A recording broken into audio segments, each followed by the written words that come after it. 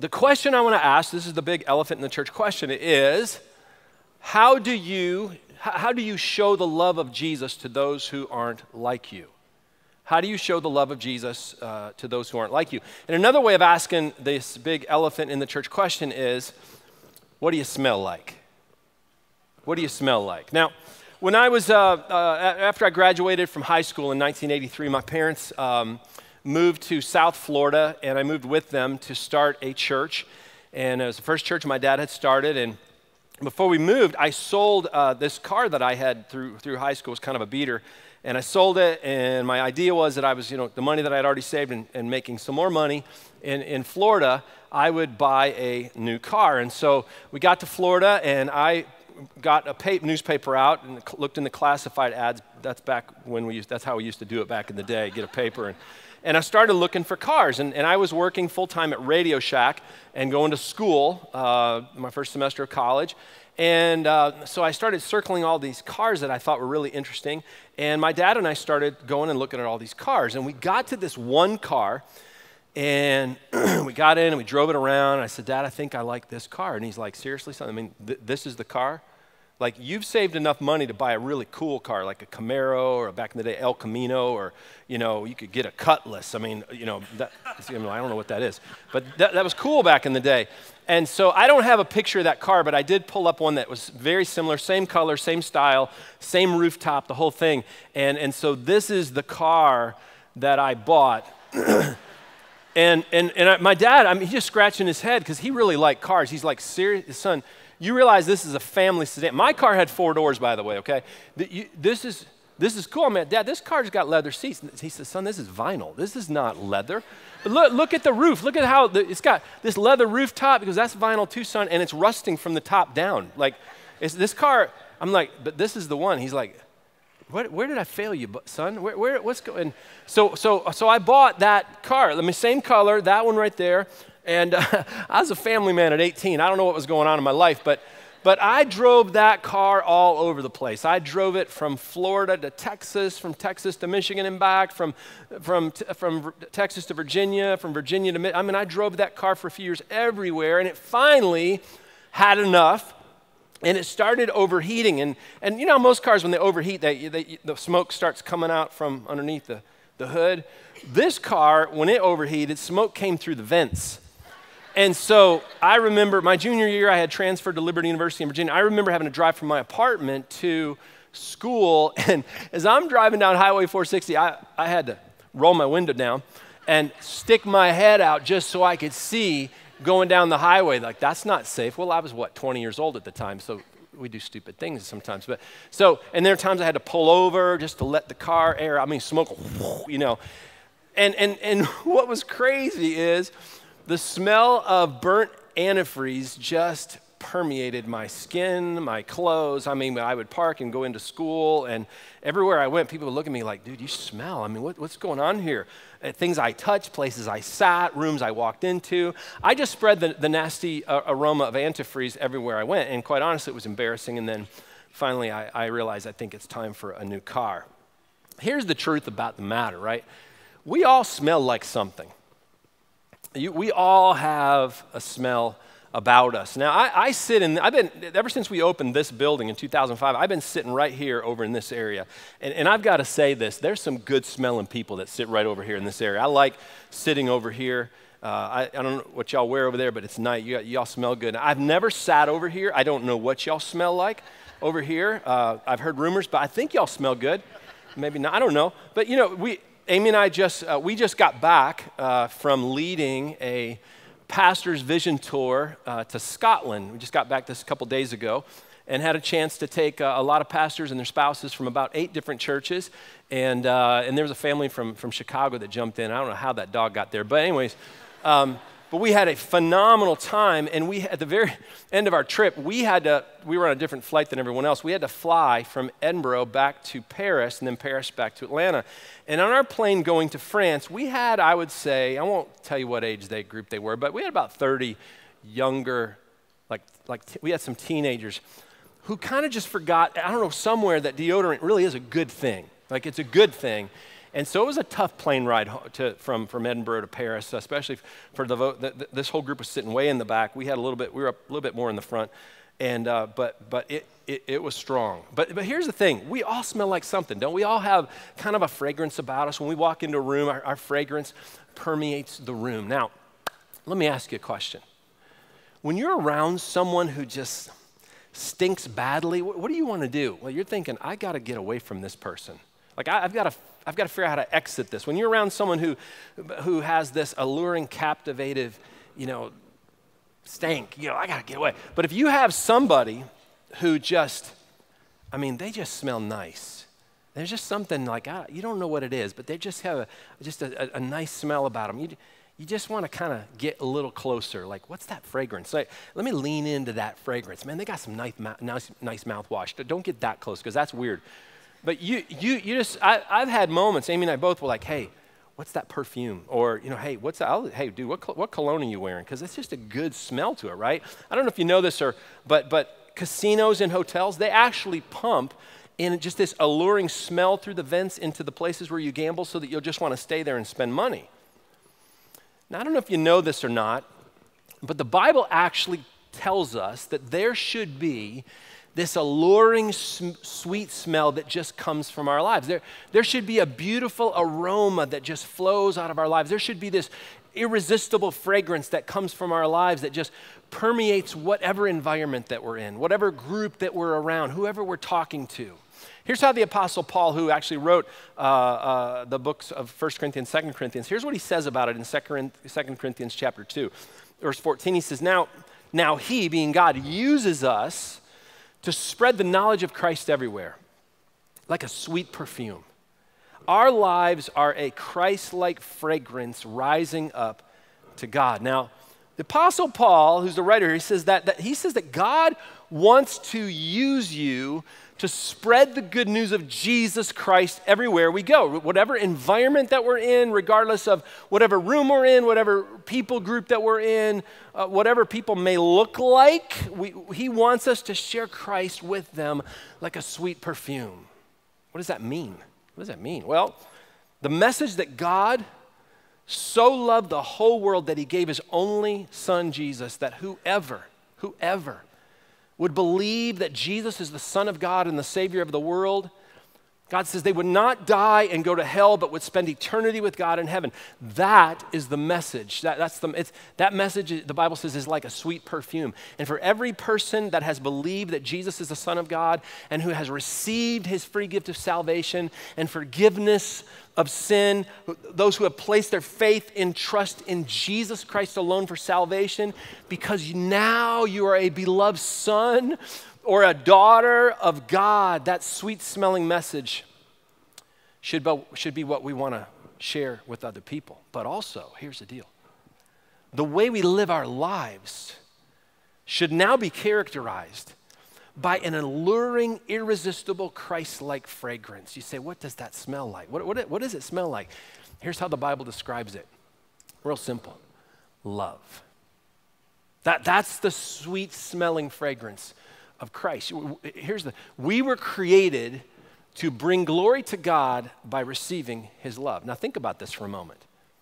The God of the universe, the one who, who created everything into existence and now holds it all together, who, who basically created you, uh, this God who doesn't need a thing, he has no need of anything. He created us because he has something to give. What is that? He has, he has love to give. And God wants you this morning to receive his love. He wants you he wants us to soak ourselves in his love. He wants to rest in it and he, he wants us to rest in it and he wants it to just let it fill our lives. But then he wants us to go out and share this sweet smelling message with the rest of the world. And, and even more than that, he wants our lives to be so immersed in this love that it just permeates everything like a sweet smelling fragrance. It, it, it, doesn't just fill us, but it just flows out of us, overflows onto everything that we touch and everybody that we're around. Second Corinthians, we move into chapter 5. Paul says in verse 14, he says, Christ's love controls us. Since we believe that Christ died for all, we also believe that we have all, all died to our old life. He died for everyone, everyone, so that those who receive his new life will no longer live for themselves. Instead, they will live for Christ who died and was raised for them. Paul, so Paul says, out of love for all, Christ died for all. Out of love for all, Christ died for all. And once we believe that Christ died for us and we receive his gift of love and forgiveness, and we also, what we do, we receive, the Bible says, new life. And that new life that we have been given replaces the old life.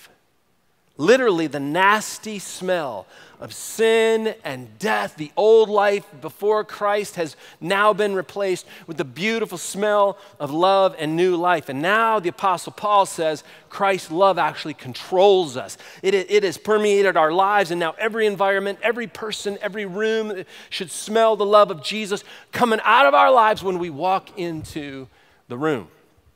Paul says a few verses later that this love should now make us look different to the rest of the world. We should actually begin to see people through the eyes of Jesus. Our job now is to be ambassadors of His love to the rest of the world. Now, don't misunderstand something here, okay? We need to tell everybody we know about Jesus and how He has rescued us from our sin and from death. But our lives should be an alluring fragrance that God can use to draw people to His Son Jesus. Now, there's a huge problem that I see, okay? And this burdens me deeply. Not everyone who calls themselves a follower of Jesus today smells like Jesus. Not everybody who's calling themselves, not everybody out there, uh, maybe in the room, who, who has said, Oh, yeah, I'm a follower of Jesus, smells like Jesus. Not everyone who claims to belong to Jesus acts like Jesus or loves like Jesus. The fragrance that they're throwing off is not a sweet perfume. It's, it's not an irresistible fragrance. It's not attractive to those who need to hear the good news, the gospel, the message of Jesus that, who, who gave his life for everyone. See, because people, people who hear the beautiful words of God, of the, of the gospel, and how, how Jesus loves them and, and gave his life for them, but then watch some people live lives who claim to be his followers, they are actually turned off by that smell. That, that nasty stench actually drowns out the beautiful, alluring power of the words. And I see this stink everywhere. I see it on social media. I, I have to take a break from social media in the summer, it just wears me out. But I see it on social media, I see it in the news, people who claim to be followers of Jesus spewing hatred and judgment towards people who, who believe differently than, than, than they do, who vote differently than they do. You, you can just smell the nasty aroma coming off the computer. There's, a, there's like a foul smell that, that comes from those who, who look down their noses at, at other people who may not embrace the same theological system as they do. It's a, it's a big thing. For centuries and even now, people who, who, who, who claim to have the love of Jesus in their heart look differently at people who have different skin color or different cultural backgrounds. With, looked, at, looked at those folks with deep bitterness and hatred, and they, they cover it up with the nice Sunday morning, go to church clothes, but under all, it's, it's a rotten, rancid stink that just just comes from their lives.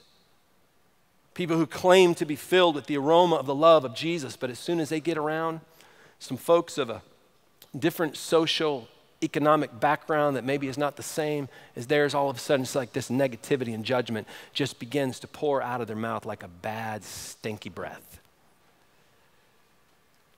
And here's my question for all of you today, and I ask this with as much love in my heart as I have for you, and I love you. What does your life smell like? What, what aroma is your life giving off? What, what's your fragrance?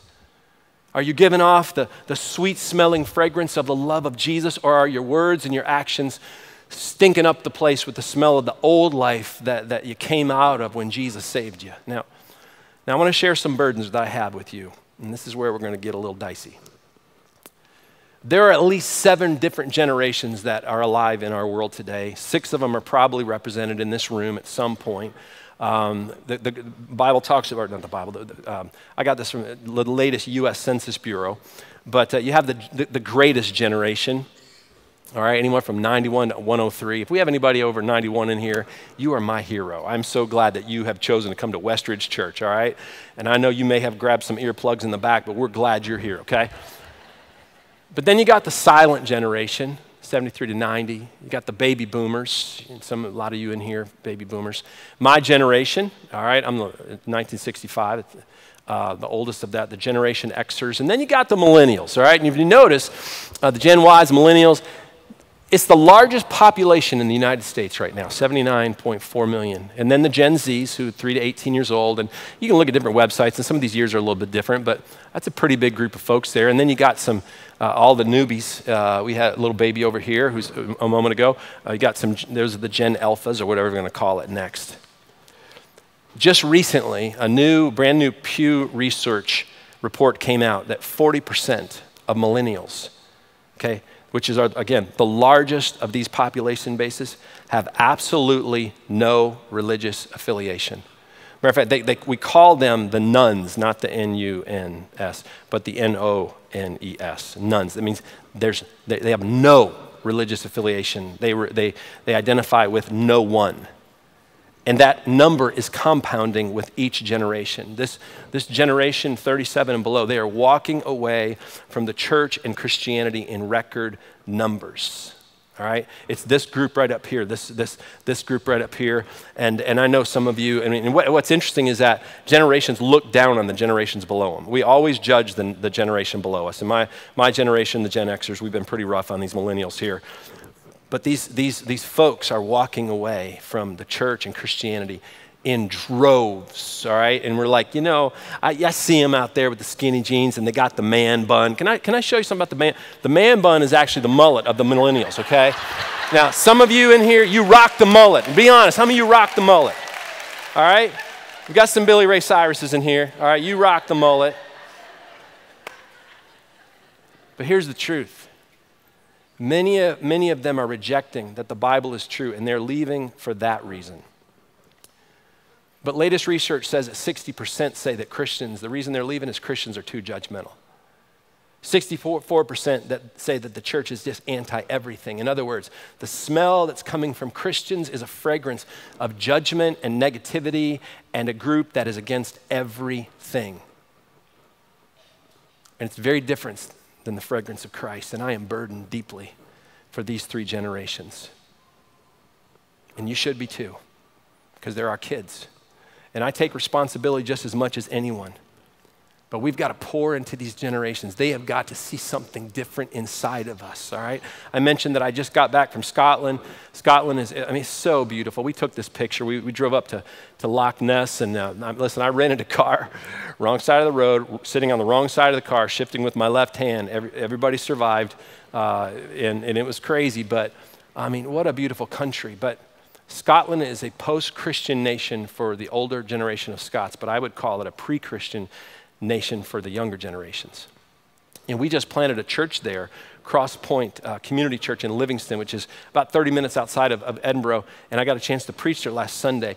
Guess who the new believers are in the church? Younger people, teenagers, pre Christians, these millennials and below. Actually, it's the younger than that who are, have come to the end of themselves and are now going, there's got to be more. There's got, we, this, this nation for hundreds of years has tried everything else. There's got to be more. And they're open to talking about Jesus and they're coming to Christ and they're willing to come to church. And can I tell you, this is where our nation is heading.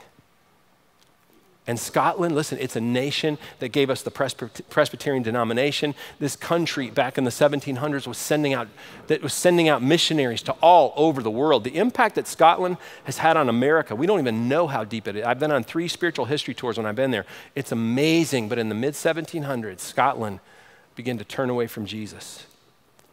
And over the years, they, they begin to replace Christianity and Jesus with philosophy and science and humanism and atheism. And now they've come to the end of themselves. And here we are today, less than 1% of the population of Scotland actually identify themselves as Christ followers, believers in Jesus.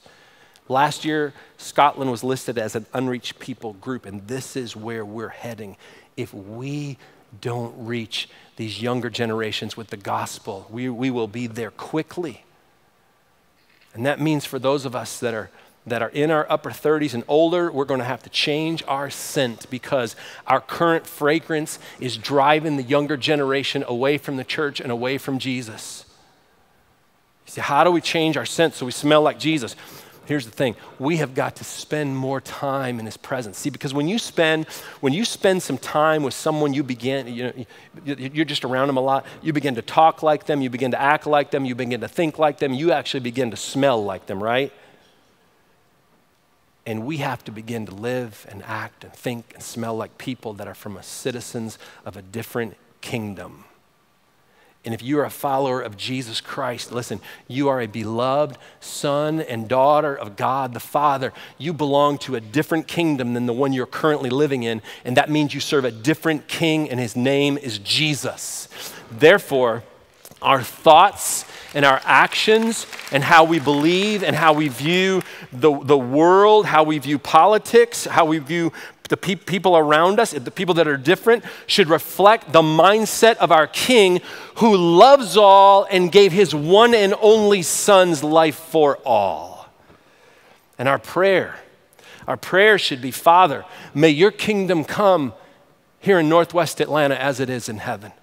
In other words, we're asking the rule and reign of Jesus be reflected in the community, especially in the lives of those who call themselves children of the King. Lord, may your kingdom come. I've been praying around this building now for the last almost two years now, and that's been my prayer. Lord, may your kingdom come on West Ridge Church as it, in, as it is in heaven. May we see the world through the eyes of the King. It should change the way that we are relating to this world. It should cause our burden for the world to look different than, than every other, every political party. If you line up 100% with one of them, you're missing something. It should make us look different than every religious system that does not reflect the words and the commands of our King Jesus and his kingdom, the kingdom of heaven. Now, let me share another burden I have with you. Over the years, Christians have had no problem having a burden for people from different countries, people even from most religions. We, uh, here at West Ridge, we, we work in a few different countries very strategically, long term. We have a burden for people from Guatemala and Nicaragua and Cuba and Spain and, and Scotland. We've been sending missionaries, missionaries all over on almost every continent. And, I, and I'm going to say this it took Christians way too long to get a burden for Africa because in the, in the 80s and 90s, we just bought into this false mindset that God was throwing down the hammer of judgment on the continent of Africa with an AIDS epidemic. Oh my goodness. And finally, in the last 15 years or so, the church has gotten their act together, and we're doing, West Ridge, we're doing everything we can to spread the sweet smelling fragrance of Jesus to this little country that God has led us to, called Burkina Faso, this little landlocked country in northwest Africa.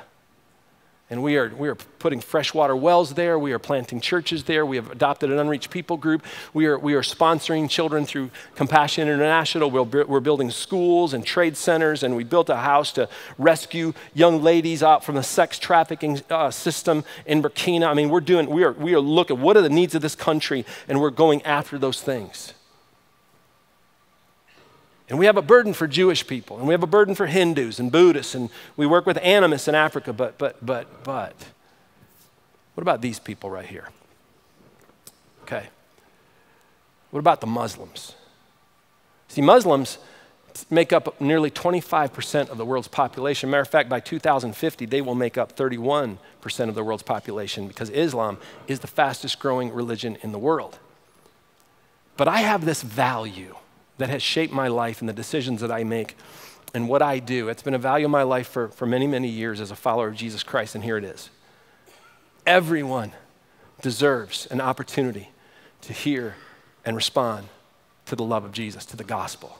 In other words, God loves Muslims as much as he loves you, and they deserve the same chance that you and I have had to hear how much God loves them and how, how, how, how, how he gave his son Jesus to save them from their sin. Now, some of you are thinking, Brian, do you realize? I don't know if you've been watching the news, Brian. I know you've been away for the summer, but do you realize that some of these people will kill you for trying to convert them to Jesus? Do you know that they actually kill Christians in, in their countries? Mm-hmm. I know all that. Listen, back in 2004, first time I ever went to a Muslim country was in Egypt, and I remember standing on the 10th floor of a hotel in Cairo, freaked out five times a day, the call to Allah, you know, from the mosques, and I just stood there and I said, Lord, you are going to have to break my heart because this is freaking me out. And I'm, I'm scared. And you're, you're going to have, you, Lord, and so my prayer was break my heart for what is breaking your heart. And God's done that. And I want to tell you something. Listen to me now. God's up to something.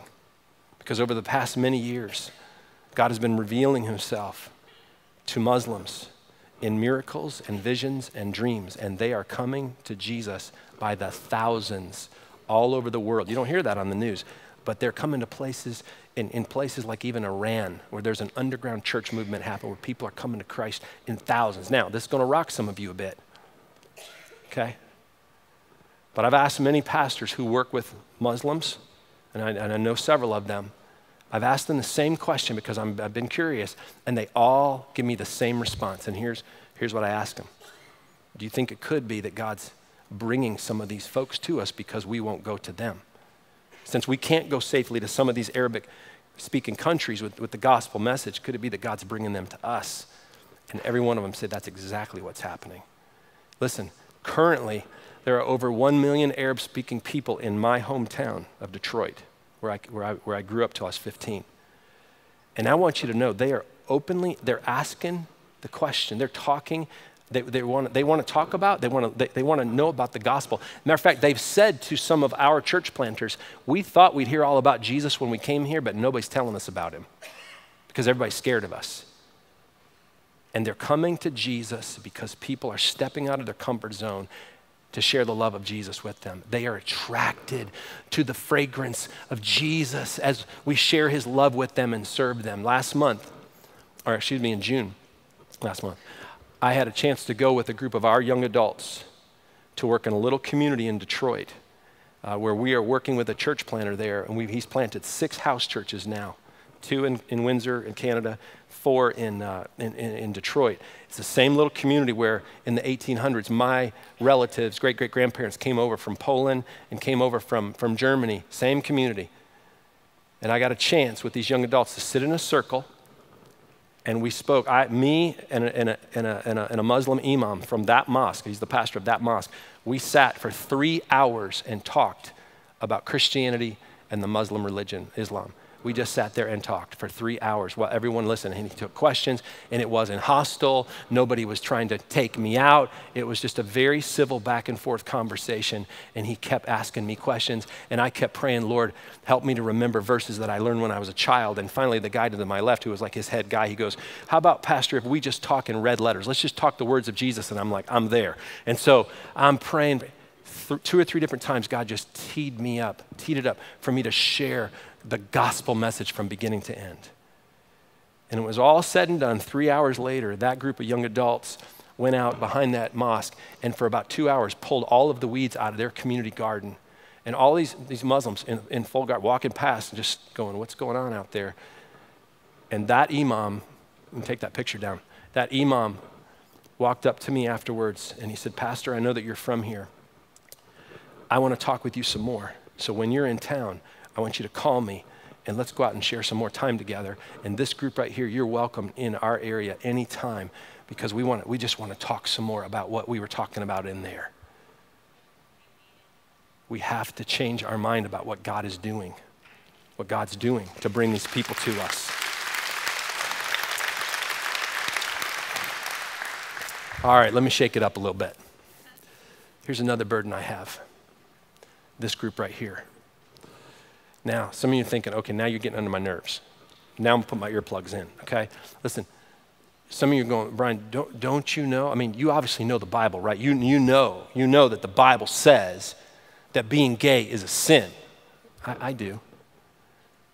But I also know the Bible says that pornography is sin, and lust is sin, and gossip is sin, and anger, and lying, and getting drunk, and being addicted to something, and so is hatred. They're all sins. Okay? So here's the question. What fragrance is the gay community getting from the Christian church in America right now? For the most part, rejection and hatred. And I have relatives who are gay, who are openly gay, some who are not quite yet. But I, I am deeply burdened for them. I spoke to a couple down here after the first service. Tears, kids raised in church, both their sons have just come out openly gay. And here's what I, here's what I ask myself all the time, even when they were standing there. Would their sons feel the love of Jesus at West Ridge Church? Would my relatives feel the love of Jesus in this church? Would they have the chance to hear the truth about Jesus and how much he loves them and how he has a wonderful plan for their life and how this is a safe place for where sinners can work through their issues and their sins? Or would they walk out feeling shamed and hated and condemned? See, here's a, here's a growing issue that every one of us in this room is going to have to deal with if we aren't already. We have children in our schools, middle schools, who are openly gay. You have, you have coworkers at work. I talked to another guy who just had deep hatred, but he started working with this guy and they've been talking.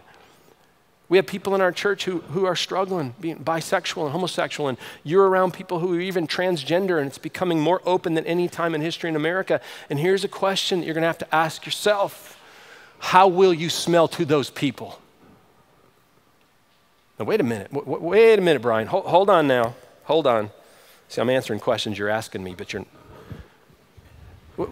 what about truth? What about the truth of God's word? I'm all about truth, but I'm also all about grace. See, see in, in, the Bible says in John chapter 1, verse 14, verse 14, it says that Jesus came full of grace and truth. That means that he was 100% grace, but he was 100% truth. And here's the two parts of the gospel message that we have to embrace, and it's for all of us, by the way. You and I are far far worse than we can imagine. That's God's truth. But you and I are far more loved than we dared to hope. That's God's grace. You and I are far, far more worse than we can imagine, and we are far more loved than we ever dared to hope. And most people who live a homosexual lifestyle, they know what the church believes about truth, okay? You know what? They know. But I don't know if they really know what we believe about grace. They, they don't know that they're far more loved than they could ever dare to hope. And how will they know how much Christ loves them unless we show them Jesus? What kind of fragrance, West Ridge, what kind of fragrance are you giving off towards those who are living in this lifestyle? What do you smell like in your school? What, do you, what, what aroma are you giving out in your workplace? Now, here's another burden and, and uh, this burdened my heart since the day we moved here. One out of four people in America have become atheists or agnostics. And what kind of fragrance is coming from you when you are around these people? 87% of our community around this building is not on church in any given Sunday. I don't know what that means about them, um, but I, most are lost. What, what do they smell when they drive past our church? Here's the truth on an active throughout the year, there are 13.5 thousand people that call West Ridge Church their home church. Now, that's a lot of folks. They don't know. Y'all don't come on the same Sunday, by the way. But what aroma? What aroma is this lost crowd that lives all around us in the thousands? What are they getting from the people of West Ridge Church? When they, when they sit with us in the bleachers of football games or around us at restaurants or when waitresses come up and, and wait on your table or you're at a basketball game or a dance recital or a band concert and people know you go to West Ridge. Is it, is it, a, is it a sweet, beautiful, alluring, irresistible smell of God's love and grace and truth or it is, the, it, it is, is it the nasty stench of hatred and judgment and condemnation and shame? Is it, is it, the, is it the rancid stank of racism that has permeated the South for years, in our whole country for years? Or it is, a, is it the captivating aroma of Jesus, of love and acceptance? 2 Corinthians 2, Paul keeps talking about this fragrance in verse 15. He says, But this fragrance, he said, is perceived differently by those who are being saved and by those who are perishing. That's interesting, isn't it? To those who are perishing, we're a dreadful smell of death and doom. Let me tell you what that means. It means that there's going to be some people that are going to smell the fragrance of the gospel in your life, and they may hear the sweet message of Jesus and how he gave his life for their sins, and they're going to reject it. Just know that. It, they're going to say no, and some of you have already encountered that. Matter of fact, some of them, they're going to not only oppose it, but they're going to come against it. And we're seeing that happen, right? However, verse 16 says, But to those who are being saved, we are a life giving perfume. I love that. For those who are being saved, rescued by Jesus, we are a life giving perfume. There are millions and millions and millions who would receive the gospel message like a life giving perfume if we would just share it with them. If we would get over our fears and our biases and our hatred, whatever it is, and we would just live it out. So I ask you this question with all the love in my heart that I have for you, and it's overwhelming, by the way. What do you smell like? What does your life smell like? Honest truth. I, some of you may be thinking, you know what, Brian? Okay, I'm going to be honest. I'm not going to say it out loud, but I love these people, but I hate these people. You showed one group, I love them. I hate them. Like, I, I literally hate them. I, I can't help it. I just hate them. And God's going to have to just deal with me about it. That's a bad place to be. 1 John 4 20. I want you to let this verse soak deeply into you. John says, if someone says, I love God, but hates a fellow believer, that person is a liar. For if we don't love people we can see, how can we love God whom we cannot see? Just stare at that verse for a moment. Because some of you right now, you, you, you need to get brutally honest with yourself and you need to ask yourself the question Am I actually, truly, really, certainly, without a doubt, a follower of Jesus? I prayed a prayer when I was seven, Brian, but no, seriously, this is not, that you don't want to roll the dice on this one. Okay, there, there's no gray area. There's no, eh, maybe. No, no, no, no. You either are or you aren't. Aren't is not going to work. Aren't, I'm not. God is a God of love, He's a God of wrath. He cannot tolerate sin. Those who reject Jesus go to hell. That's the truth. Or do you need to give your life this morning to Jesus Christ? Receive the gospel message into your life to change you. Here's the thing you can't, maybe for some of you can't love because you've never received the love of Christ in your life. Here's what you need to know darkness can't produce light, death can't produce life, hatred can't produce love. Only love can produce love, and God has loved you first, and now He is wanting to draw you in with His love if you're a, if you're a follower of Jesus, but, but maybe your life this morning has just been spewing out this fragrance of arrogance and pride and judgment and hatred and bitterness and anger, anger towards others. Here's what you need to do you need to repent of your sin this morning. What does that mean? It means to change your mind in such a powerful way that it puts you and it sends you in a different direction. And how do I do that, Brian? You, you confess your sins before God and you receive God's forgiveness. Lord, I have hatred towards these people in my heart. Would you forgive me for that? I receive forgiveness. Let the, let the ask God to break your heart this morning for the things that break his. I've been honest with you this morning about my feelings and how I've over the years. Ask God to break your heart this morning for the things that break his. Let me say this again. People who just drip with the fragrance of Christ, they're people who spend a lot of time in his presence. They let the Word of God, it just soaks into their life. See, because the more time that you spend being intimate with Jesus, the more you will smell like His fragrance. And when His fragrance permeates a life, that aroma will just spill out of your life onto everything it comes into contact with. And it's a beautiful thing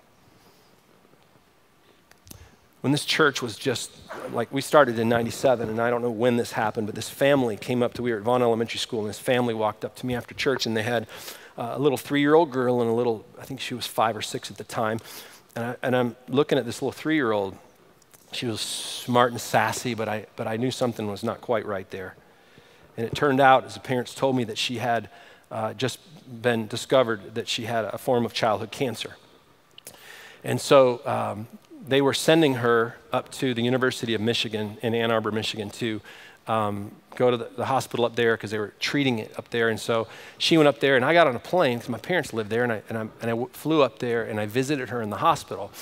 Now, she could never call, she couldn't pronounce preacher, pastor. And so instead of calling me preacher, she would call me creature. And that went on for years. Okay? I, so I, all these years I've been in and out of her life, and she was a waitress at one of my favorite restaurants, and she would go, "Hey, what you want? What, what you want tonight, creature?" You know, this was just this thing, and she just had this spunk and funny sense of humor about her. But for all the so many years, her cancer would come and then it would go, and she'd be in remission. And she went to the same high school as my boys at North Paulding High School, and she graduated with my nephew Caleb. And and uh, about a year and a half ago, December 2016, January 2017, she really, really pushed in to Jesus. Like she, I, I, I, she got saved at Rush Camp, and I baptized her when she was seventh grade, and. Uh, but she really decided at that moment, and I remember talking to her about it. She said, I, I just decided it was time for me at the age of 21. I'm going to push away from all my friends who aren't walking with Christ, and I'm just going to follow Christ with everything I have, even if it costs me everything. And it did. A lot of her friends walked away from her. And at the same time, she started getting sick. And she had some issues where she couldn't swallow, and she, there were some things going on. She couldn't eat, and it was just a and we sent Spencer Purdy up there. I mean, listen, this guy who sings over here, when he prays, things happen. And he went and prayed for her. And then a few days later, Amy and I went and spent some time with her and prayed. And she, she, she was healed from this esophagus thing. And then I found out right after, um, right after Easter that she had been in the hospital and her cancer had come back full steam and we were going to go up to see her, and they basically brought her home and said, This is pretty much all the chemo she can handle. She's 22 years old. And I'm going to tell you what, when I read that text from her mom, and then I called her, I mean, we, I was just crying with her on the phone because I've been following this little girl for 19 plus uh, 19 years, and and uh, man, it was tough. But I'm gonna tell you something, when I was around her in the hospital or wherever, I mean, it was just like the love of Christ just coming off of her life was amazing. And her mom, Donna, and Lamar, they, her dad, Lamar, they were actually in the last service. And I asked for permission to tell this whole story. And so I, I said to Donna, I said, Donna, we want to come over and see her again. And so we, we planned a day where we are going to do that. And so we went over there. And she said, Now here's the deal I'm going to surprise Ansley um, I want to get baptized. And I went, How are we going to do that? She goes, Well, we'll figure it out. I just want to get baptized at my house. And I want her to see it because that's a concern of hers. And so Amy and I go over to her house, and, and we're in her living room, and they bring her downstairs. She can't walk. And um, sit her down in a chair, and she's just so, she's so spunky, and she's just so this smart sense of humor and we were, we were started talking about that, me visiting her in the hospital, and I took her. She always talked about wanting to have a pony. And so I took her this like toy pony and I gave it to her. And she looked at her parents like at three and she goes, This is nice, but come on now, you know. And so we started talking about that and about her cancer. And at some point she looked at her mom and she goes, What do I got to do to get a pony around here, you know? Um, and uh, we pulled out this metal basin and put it on the armoire in front of where she was sitting. And she said, What's going on? And Donna said, um, Ansley, I know this has been on your heart, but, but I, I want to I wanna get baptized. And she's like, Are you right in front of me? And I'm like, Brian came here to, to see you, but to baptize me. And so I said, Donna, share your testimony. And so she started talking about just in the past year, watching Ansley's life had just made such a drastic change in her life. That sweet aroma changed her mom's life. And so I baptized Donna right in front of her in this metal basin. You're like, well, wait a minute, it didn't happen up there. Get over it, okay? It's not about how it happens, it's about understanding why it happens. And then I'll, Grandpa, he's 70 something years old from Tennessee, he looks at me and he goes, Hey, uh, I, would like to do that. And I said, All right, would you share, would you share with the room about your salvation story? And he goes, Well, I'll be honest with you. He said, um, this past year, I started going to this church. And, and uh, he said, I had been out of church for years. And he said, but I started going because of Ansley. And I've been looking at her and watching her life and going, I, I, have got to have that. Whatever she has, I have to have it. And he said, so I started going to this church and I've been talking with these, this man. And this one man actually talked to me about Christ in the parking lot. And so he said, I, I came to Christ right there in the parking lot. And he looked at Ansley and he said, Ansley, but it's because of you. It's because of your life. I know you lost a lot of friends, but you've just I'm watching you live for Christ in the midst of all of this tough news, and I want that. So I baptized Grandpa right in front of her. And then she said, Creature, I got something for you. And I said, What? And she said, I've, I've been, because I've had so much time, I've been painting and reading my Bible. And, and she said, I want to give you this. And so she, they brought out this thing, and there's a picture me and Amy and Ansley Cochran. Every morning when I get up, that's on the wall right as soon as I walk into the, to the bathroom. It says, In the morning when I rise, give me Jesus. And she died on May 22nd. She went to heaven. And I did her funeral over here in the multipurpose. I've, I've done some tough funerals. My dad's, Andrew Praise. I mean, we, but that was right up there at the top. But listening to her life being shared by adults, and they didn't invite everyone. It was, a private, it was a private funeral. I don't know how many were in there, but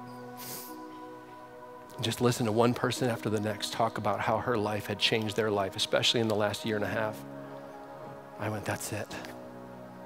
That's the sweet smell of the gospel coming off someone's life who has spent so much time with Jesus that it just permeates everything they touch, everyone they're around. That's how I want to live my life.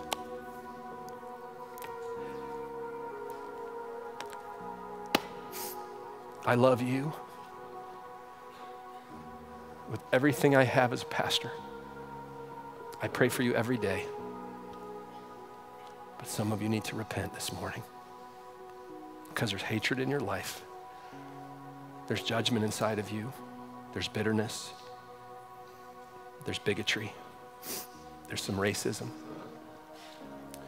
We can pray all we want. We can go into this prayer series all we want. But I want to tell you what God, as, I, as I've marched around this church for the last almost year, two years, uh, God's revealed to me until we as a community deal with racism, we will not see revival.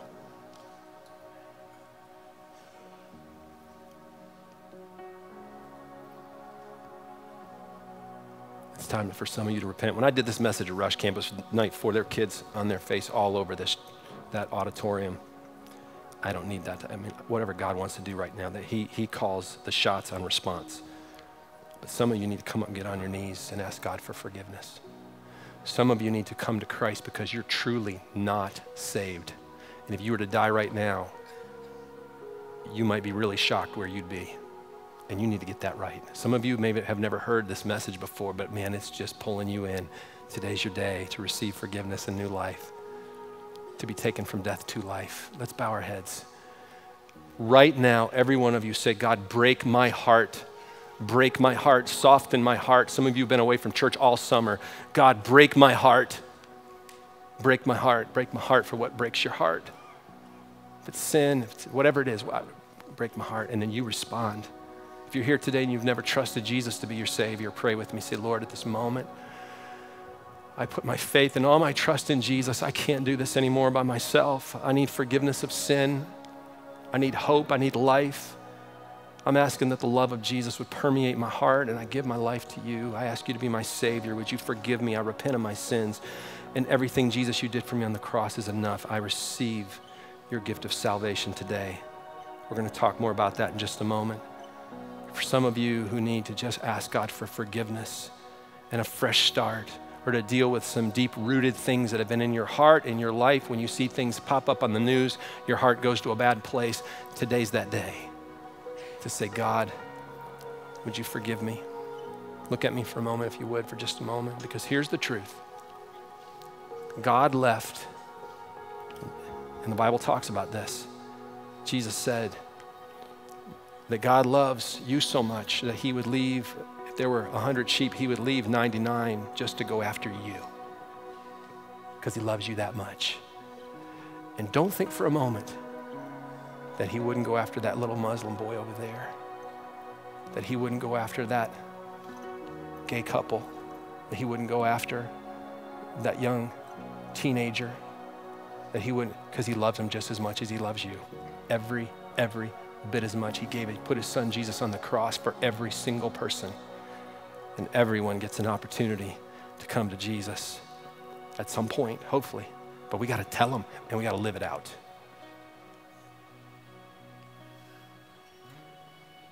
And because he came after you and you've said yes, we, we ought to spend the rest of our life telling everyone about this, that we, this thing that we don't deserve. But God, in His mercy and His grace, He said, You can't earn it, but I'll give you Jesus. And I'll chase you down. And I'll give you a chance. Don't say no anymore. And for those of you who are truly Christ followers, no more trampling on grace that we don't deserve. Let's live for Him in every area. Let's smell like Jesus from here on out. Oh, Lord, help us. Help us, Lord. Help us. Lead us in this song, Jason. You stand, you respond. If you need to come forward, get on your knees all over this place, whatever you need to do this morning, you respond to what God's putting on your heart. Don't you grab that chair in pride. You say, God, I've had enough. I'm going to follow after you. Come.